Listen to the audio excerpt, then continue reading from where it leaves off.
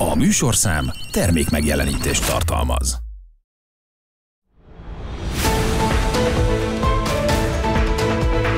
Itt a Napi Retro, a régi idők nagy pillanatai.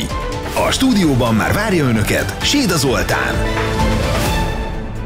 Szép napot kívánok, 2002-ben járunk. Ebben az évben mutatták be a Valami Amerika című magyar filmet.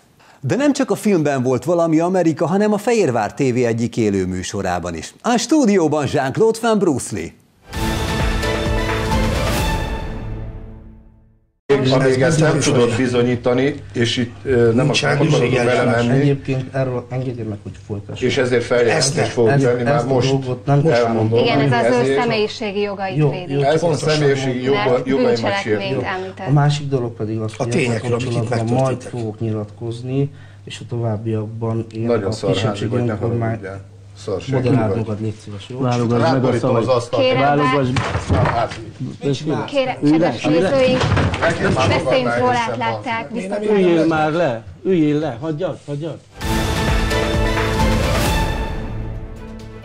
Ez volt már a napi retro, nem sokára ismét találkozunk valahol a múltban.